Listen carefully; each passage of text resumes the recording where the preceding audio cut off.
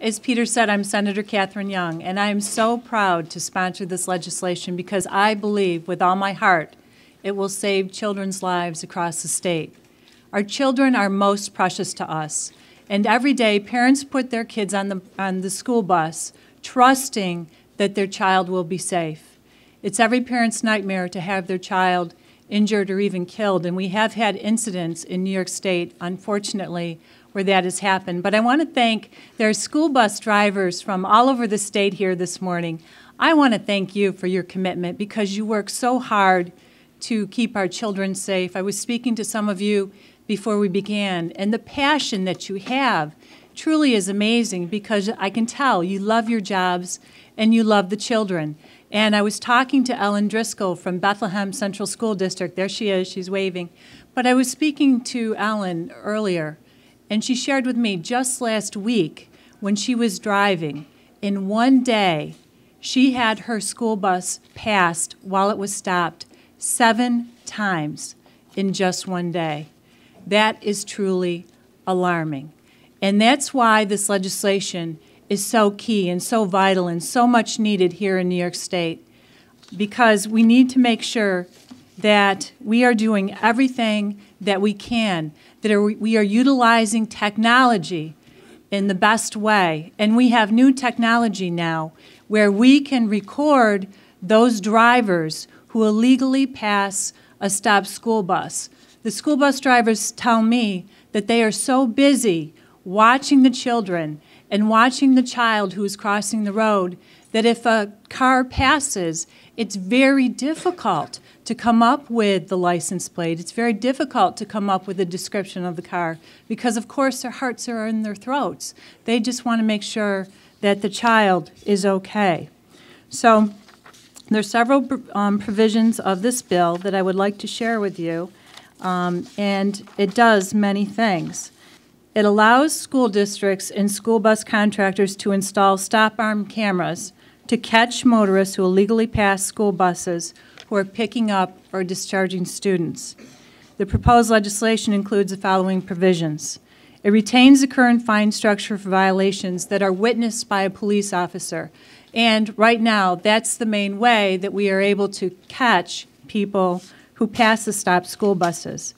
It also establishes a minimum fine of between $250 and $400 with no points for a first violation when the violation is based on the camera-based evidence, with increasing penalties for repeat offenders. It requires suspension of the license of a motorist who has been convicted multiple times of violating Section 1174. It makes it a crime of aggravated assault when a motorist injures another individual as a result of illegally passing a stopped school bus. It makes it a crime um, of criminally negligent homicide, a Class C felony, when a motorist takes the life of another individual as a result of illegally passing a stopped school bus, and assault in the third degree, also a Class C felony, if injury to another person is caused.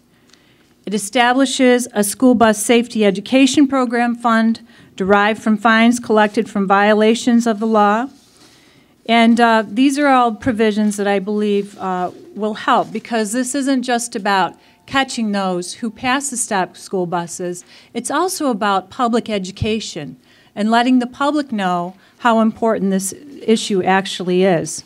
And as I said, unfortunately and tragically, we have had incidents in New York State uh, that have resulted in even fatalities. For example, on May 21st, 2004, Mallory Eddy from Stockbridge uh, Valley um, Central School District was struck by a motorist who passed her bus on the shoulder.